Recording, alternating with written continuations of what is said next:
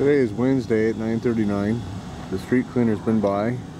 Today we had the white man come by instead of the black man. And I'm saying that because that's the only way I have to identify them. And as you see, I have a clean street.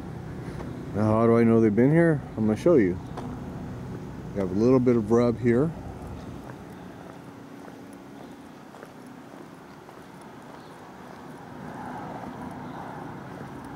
You see the little markings, little lines.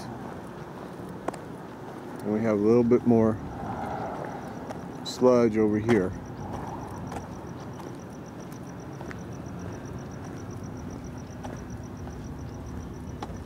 Okay, so there's no excuse for that street to be like it was the previous two weeks. No excuse at all. That's just somebody not doing his job.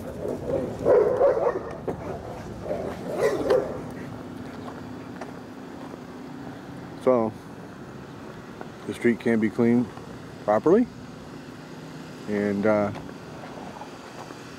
the city will be on notice. Get that man off my street.